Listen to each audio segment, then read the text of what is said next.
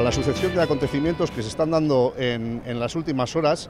y sobre todo teniendo en cuenta que muchas de ellas tienen origen en, sede judicial, desde H. Bildo queremos hacer una doble reflexión.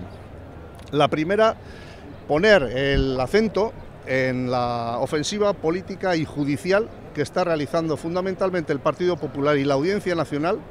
para trasladar la, sensación a la sociedad vasca de que estamos en la situación política pretérita la actual. Cuando todo el mundo sabe, cuando todos los agentes políticos y sociales de Euskal Herria saben que estamos en nuevo ciclo político en el que una de las violencias que, marcaban el escenario político ya no existe, algunas decisiones políticas y judiciales siguen retrotrayéndose precisamente a ese escenario y la orden de detención y encarcelamiento que la Audiencia Nacional a estas alturas, a estas horas ya ha emitido, eh, precisamente va en esa dirección. No es la única. La detención ayer de, Iker en, Vizcaya, eh, las últimas resoluciones judiciales, según eh, las cuales han absuelto, han absuelto en el Tribunal Constitucional a dos jóvenes de Zarauz que ya habían cumplido una condena por apología del terrorismo, la impunidad que rodea en sede judicial el caso Bruar, a la luz de las últimas declaraciones que acaba de hacer uno de sus asesinos,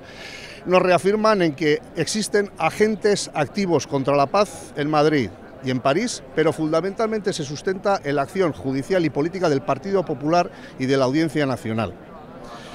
Frente a esto, o contrariamente a las intenciones de estos agentes enemigos de la paz, queremos hacer un llamamiento tanto al PNV como a la Consejería de, Seguridad del Gobierno vasco para decirles que tienen una oportunidad inmejorable para demostrar,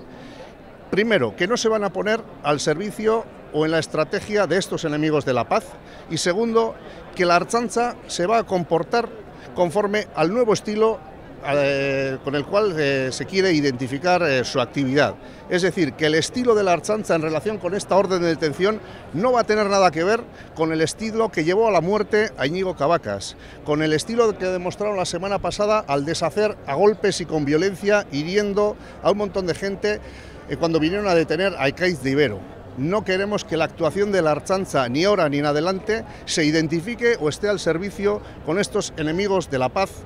que acaban de emitir este auto con los intereses del Partido Popular representados en este caso por la acción judicial de la Audiencia Nacional.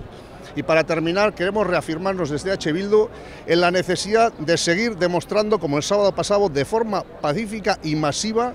la solidaridad y el compromiso con la actitud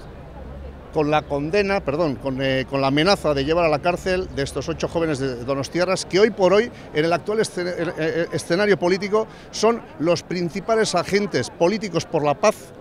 que de alguna manera apuestan por superar un escenario pretérito al que algunos nos quieren atornillar y apuestan por defender los derechos de todas las personas, incluidos los suyos, por supuesto, de forma pacífica y de forma solidaria. Estas son las declaraciones que hoy queríamos hacer al mediodía ante todos vosotros. Es que ricasco.